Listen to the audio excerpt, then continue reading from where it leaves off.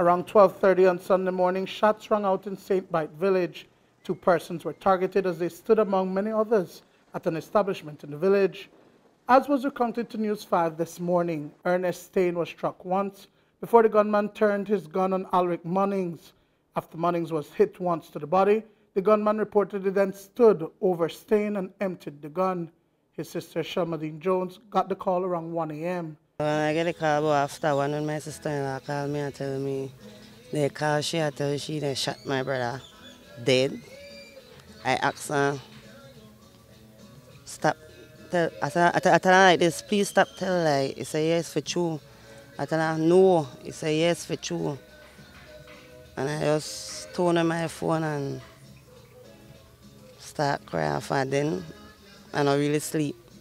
And I don't have appetite for eat. Now ah, my oldest brother, my, my oldest picnic. When he shot her, I see he drop. He get over and finish her. So like you mean to do it. So definitely no mistaken identity? No, no mistake. If there be a mistake, why? When you shot her, you say I drop. Why you never gone? You walk over and finish her. No, no mistake. He mean to do it. So I want to know why he do it.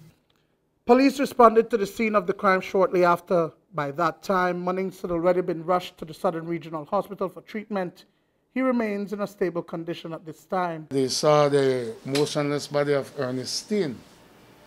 Initial investigation revealed that Staine and his friend um, Alrick were with the owner of a bar socializing under a shed when a lone gunman entered the yard and fired several shots in their direction, fatally injuring um, Staine to the body and Munnings got injured to his neck.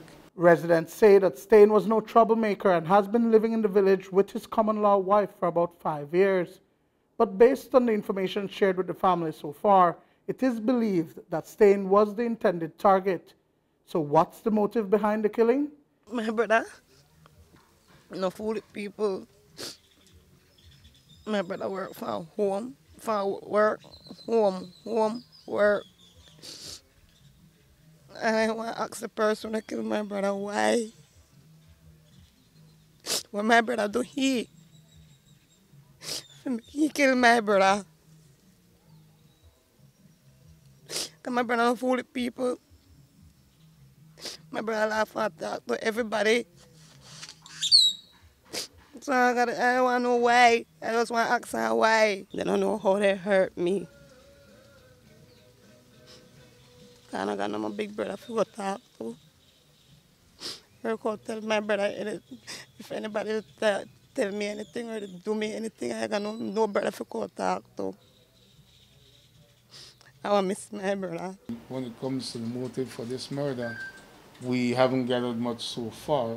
We do have a person of interest that we're searching for, but um, that's as much as I can say on this investigation because this person is not yet in police custody.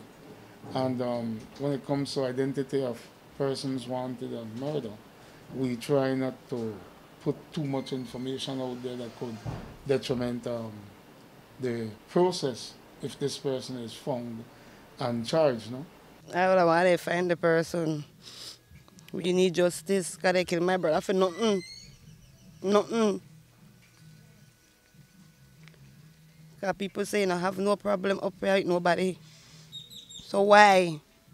Duane Moody for News 5.